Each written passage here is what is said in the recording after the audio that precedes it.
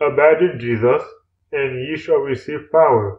This is your daily devotional reading. Gifted through the Spirit, July 24th. Mothers gifted to nurture their children. When I call to remembrance the unfeigned faith that is in thee, which dwelt first in thy grandmother Lois and thy mother Eunice, and I am persuaded that in thee also. 2 Timothy 1 verse 5 The mother's work is given her of God to bring up her children in the nurture and admonition of the Lord. The love and fear of God should ever be kept before their tender minds. When corrected, they should be taught to fear that they are admonished of God, that He is displeased with deception, untruthfulness, and wrongdoing. Thus the minds of little ones may be so connected with God that all they do and say will be in reference to His glory, and in after years they will not be like to reed in the wind, continually wavering between inclination and duty.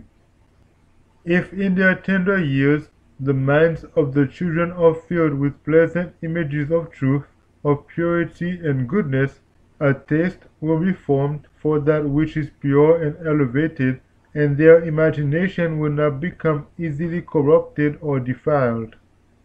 While if the opposite course is pursued, if the minds of the parents are continually dwelling upon low sins, if their conversation lingers over objectionable features of character, if they form a habit of speaking complainingly of the course others have pursued, the little ones will take lessons from the words and expressions of contempt and will follow the pernicious example.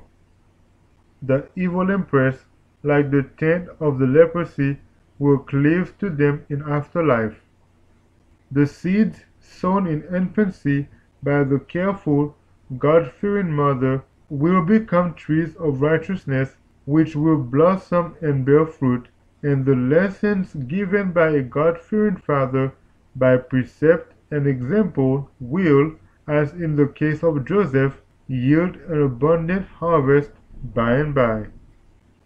Will parents review their work in the educating and training of their children and consider whether they have done their whole duty in hope and faith that these children may be a crown of rejoicing in the day of the Lord Jesus?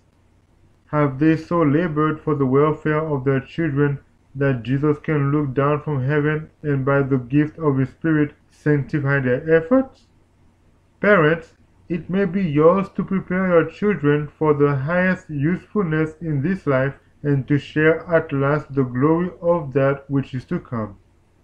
Gifted through the Spirit, July 24th.